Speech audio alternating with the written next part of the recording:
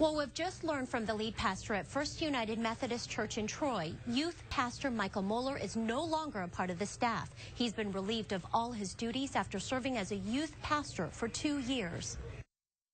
He's responsible to those children for their growth, for their Christian education, and yes, it's, it's sick.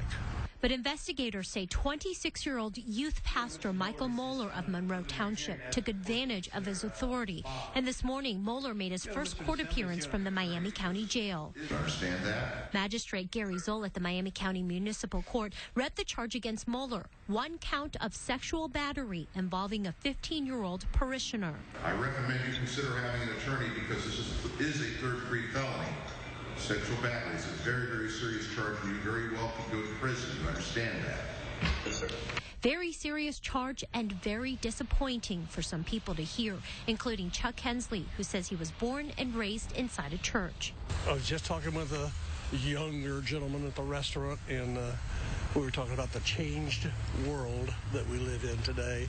Of course, it's been a lot of years since I was a young man, but uh, it was a whole lot different back then than it is now.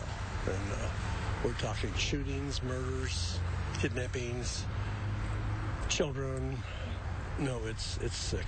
I just think with the internet and, and everything else, and, and maybe because there's more of an awareness, but it, uh, it it's too much. Miami County Sheriff's deputies first questioned Moeller at the church, then made the arrest last night. Obviously, somebody in a position of trust um, is always more concerning to law enforcement.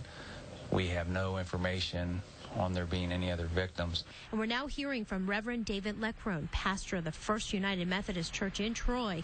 He says, quote, as we learn more about the situation, please know that we are shocked and deeply saddened and appeal for patience, grace, and prayer for our congregation, for the young person who made the allegations and her family, for our colleague, and for all who may be affected by this situation. Moeller's bail has been set at $100,000 cash, and his next court date is Tuesday. Reporting live, Yuna Lee, News Center 7. Just minutes ago, a Preble County jury